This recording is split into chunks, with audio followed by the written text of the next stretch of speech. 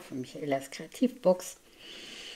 Ja, ihr Lieben, ähm, ich zeige euch heute die restlichen Karten, die ich noch mit den beiden Adventskalendern von Kreativdepot gemacht habe. Werden mit Sicherheit über das Jahr verteilt mal so die eine oder andere Karte noch kommen.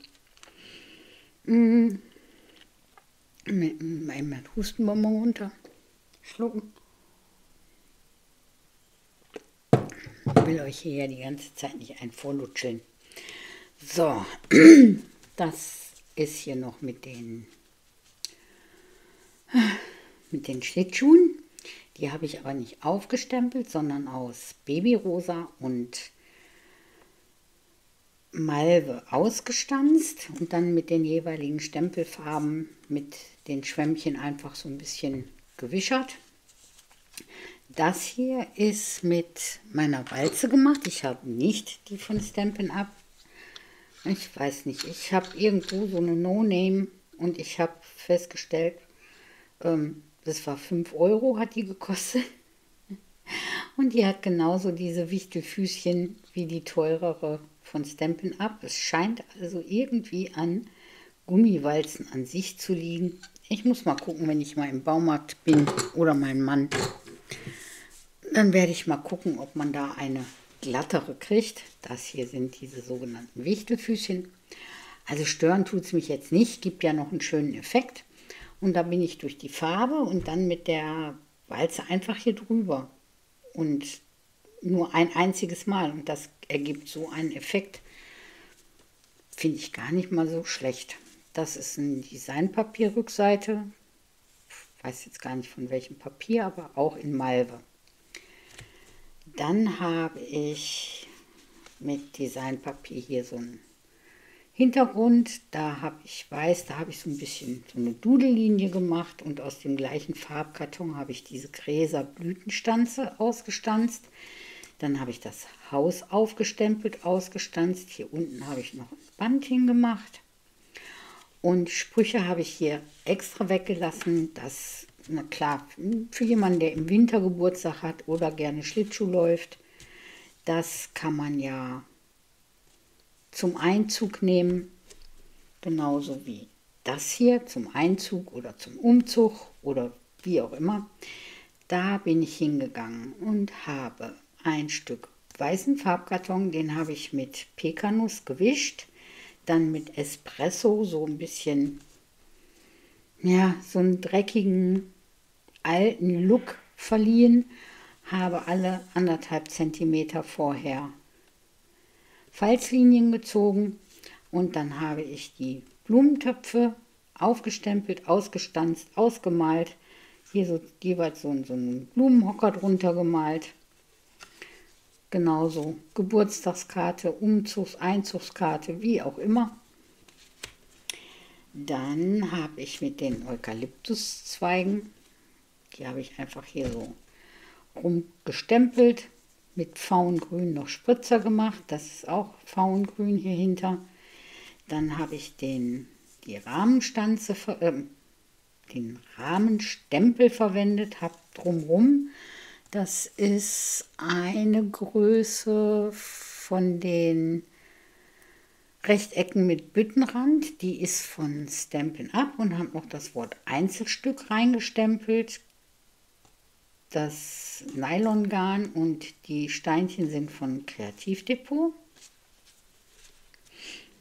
Dann habe ich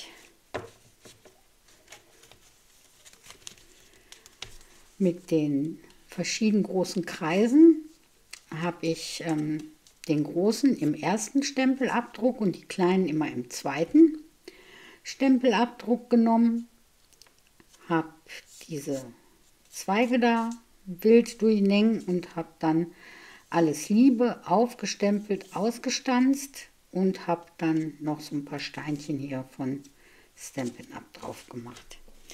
Und dann habe ich mit meinen neuen Sachen gewerkelt. Seit 4. Januar können wir Kunden ja bestellen bei Stampin' Up und da habe ich mir die ganze Produktreihenkollektion Lavendel, da habe ich das draus gemacht. ähm, woraus die Sets im Einzelnen bestehen, könnt ihr ja bei euch im Katalog selbst nachschauen oder aber gibt ja genug Demos, die das alles ausführlich gezeigt haben, muss ich ja nicht nach, dann auch noch machen. Jedenfalls hat mir diese Lavendel-Serie sofort zugesagt. Ich mag Lavendel nämlich auch im Garten.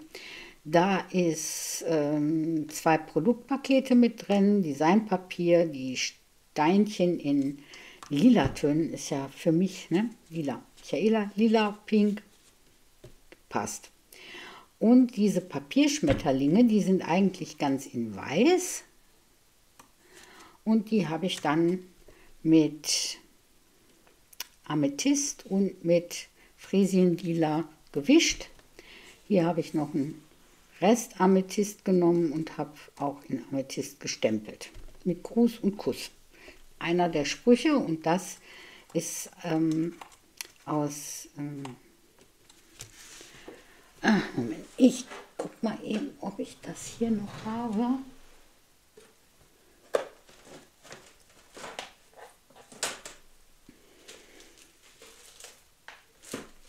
Nö, habe ich schon wieder weggeräumt.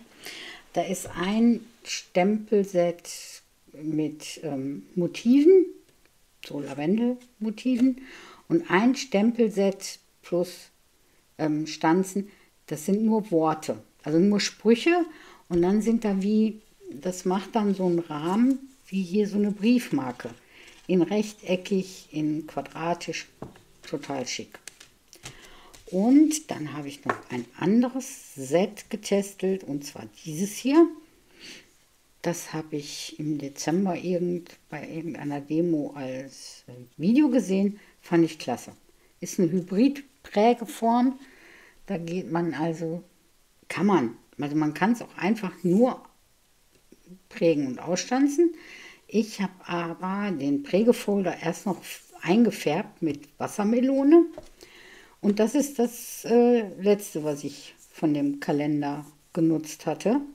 Der Blumenstrauß, den habe ich einfach, das ist ein altes Designpapier von Stampin' Up, hinterm Horizont oder so ähnlich. Ist, glaube ich, auch noch in der Ausverkaufsecke. Da habe ich einfach über diese drei Farben hier schwarz gestempelt, ausgeschnitten, mit einem Dimensional aufgebracht, ist auch mit Dimensionals. Wie gesagt, da habe ich die Prägefoder eingefärbt mit Wassermelone, die Stanzform mit reingelegt, durchgekurbelt und dann kommt das so raus.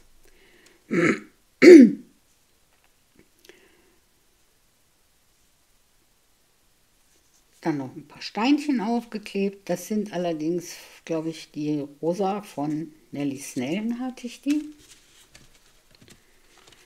So, das waren die Karten, die ich fertig habe. Dann hatte ich ja erzählt, dass ich diese Milchkartons so gerne mache. Und da brauchte ich jetzt zwei in maritinem, maritimen Design. Spruch weiß ich noch nicht, was drauf kommt, weil die sind nicht für mich. Die hat sich meine Mutter gewünscht für zwei Freundinnen und da muss sie mir noch sagen, was da für ein Spruch drauf soll. Und da habe ich gedacht, ja, den einen habe ich gemacht, den zweiten mache ich mal mit euch zusammen. Und meine Anleitung habe ich von Janas Bastelwelt. Die habe ich, das war der erste, den ich da nach dieser Anleitung gebastelt habe. Das war jetzt vor ja, also nicht jetzt, sondern davor das Weihnachten, also 2022. Weihnachten 2022, da habe ich diese Anleitung gefunden. Oh. Ihr braucht einen kompletten Bogen Farbkarton in A4, also 21 mal 29,7 und der wird an der kurzen Seite angelegt. Ich mache es schon mal auf. So weil wir gleich auch hier hinten hin müssen. Und der wird jetzt gefalzt bei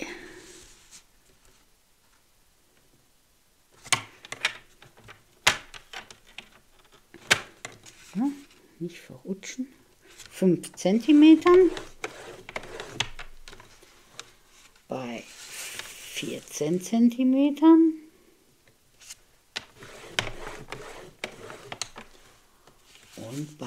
19,5. So.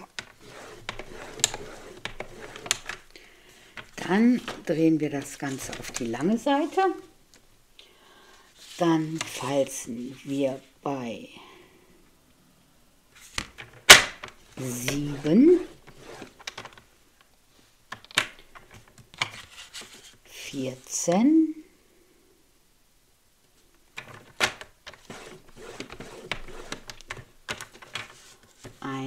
einundzwanzig, na, 21 und bei 28. So. Dann lassen wir es hier an der langen Seite liegen und gehen hin 10,5 nach oben und falzen nur hier bis zu der ersten Falzlinie. Bei 10,5 und dann bei 24,5. Da machen wir das gleiche nochmal. 24,5 anlegen und hier bis zur ersten Falz. So, jetzt ähm, muss zu meiner Schande gestehen, ich stelle mich da immer sehr dusselig an, die Diagonalen im Schneidbrett zu machen. Das könnt ihr gerne tun. Ich fühle mich da immer ein wenig unsicher, deswegen mache ich, mach ich es immer mit Lineal und dem Aufhebhelfer mit der Dotting-Seite. So, jetzt geht ihr hin. Hier habt ihr die Markierung. Da legt ihr das an und dann bis in diese Ecke. Und da geht ihr einmal Entschuldigung, und zieht die Falzlinie. So, das gleiche macht ihr dann hier wieder von der Markierung.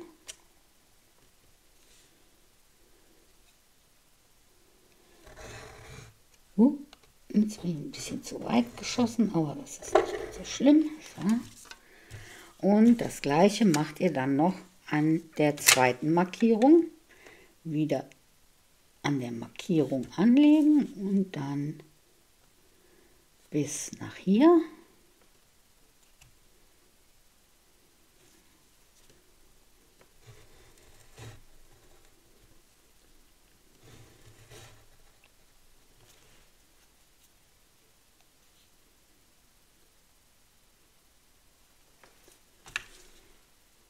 und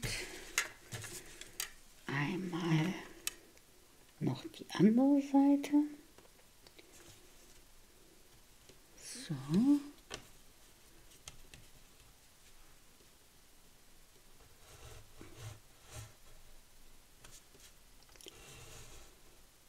So, dann kann das beiseite gehen wir jetzt her und falzen einmal alle Linien nach. Das einmal knicken. Uh.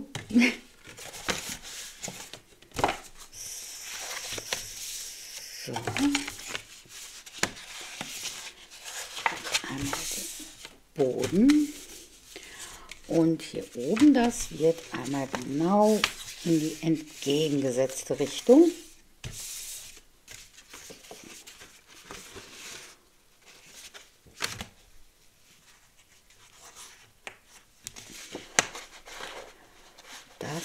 Legt sich gleich von alleine. Das mache ich jetzt einfach nur einmal so ein bisschen.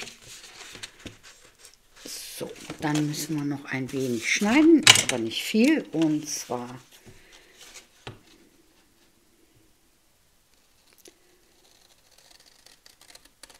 werden an der, da wo das breitere Stück ist, das ist ja der Boden, da werden einfach nur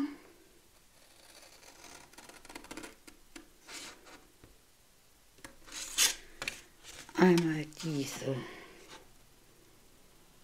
eingeschnitten.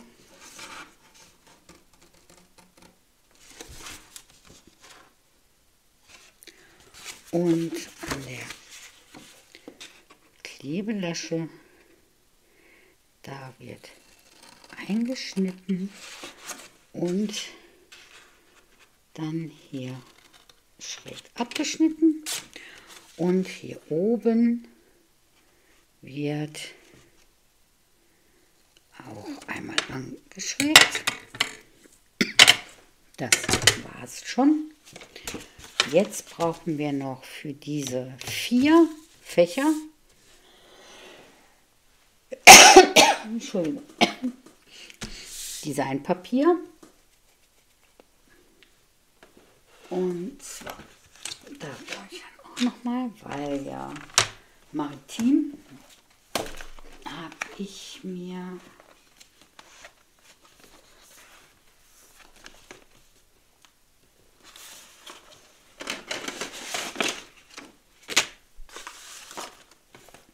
Designpapier aus meinem Bestand. Das ist vom Kreativdepot. So, und da brauchen wir, müssen wir mal eben spicken, vier Stück in 6,5 in der Breite und in der Länge 8,5.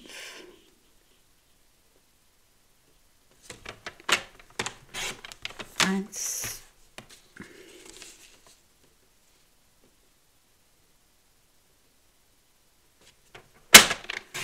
zwei,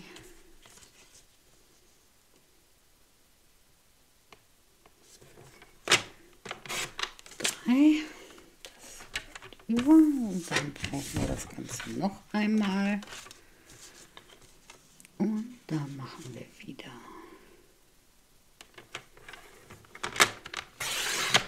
6,5 und ein Stück brauchen wir dann noch in 8,5. So, da haben wir unsere vier Stücke. Da könnt ihr natürlich wählen, wie ihr wollt. Ihr könnt natürlich auch hingehen und ähm, diese Größe in weißen Cardstock machen und das dann nochmal jeweils 0,5 cm kleiner als wenn ihr da noch einen anderen Rahmen haben möchtet. Ihr könnt euch auch selber Designpapier gestalten. So, und jetzt gucke ich mal, ob hier irgendwo was ist, was aneinander. Das mache ich dann natürlich hier so. Dann gucken wir mal hier. Ja, das passt jetzt irgendwie nicht. Dann ist es egal. Dann kleben wir uns jetzt hier die vier, vier Teile auf.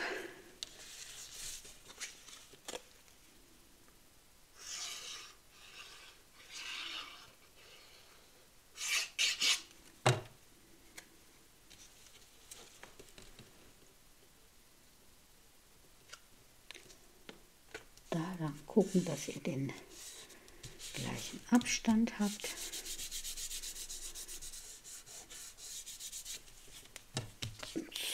So, nächste. Kleber auftragen. Und ich habe mir das jetzt so hingelegt, weil ich da dann besser den sehen kann, hier, dass ich einigermaßen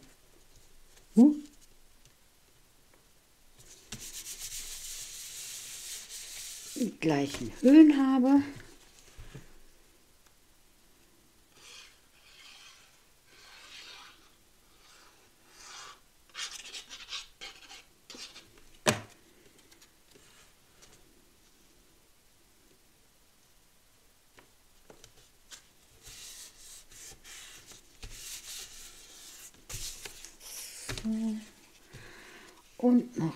Letzte Stückchen.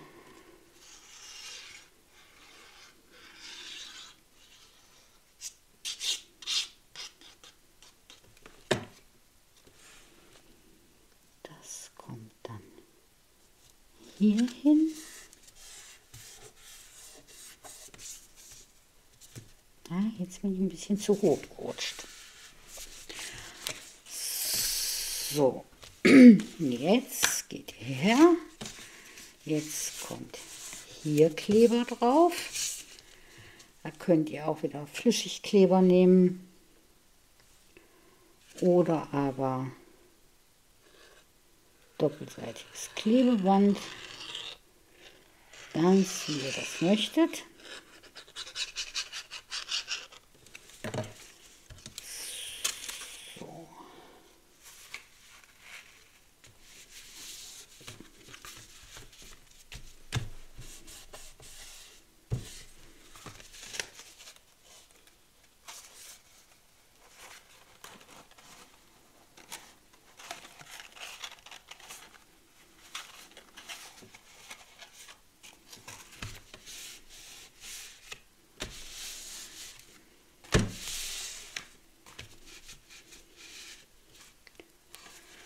So, dann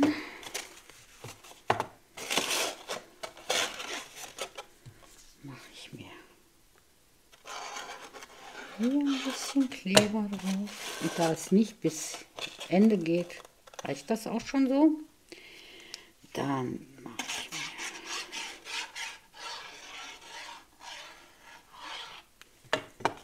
mir hier Kleber drauf und auf das letzte na, dringend mal wieder auffüllen. Hier dann auch wieder Kleber drauf und dann hier drüber. Dann könnt ihr das ganz umdrehen und ich nehme dann gerne, wenn es jetzt so was Großflächiges ist, nehme ich ganz gerne das große Lineal hier. Stückchen. Anderen Seite. Da könnt ihr alles nehmen. Ich nehme auch schon mal hier den Alenis. Hauptsache, ihr könnt mit irgendetwas da runterstupsen. Scheint alles geklappt zu haben. Hier müssen wir noch mal. Da hatte ich gar nicht bis zum Ende. Da mache ich mir hier noch mal ein bisschen Kleber hin.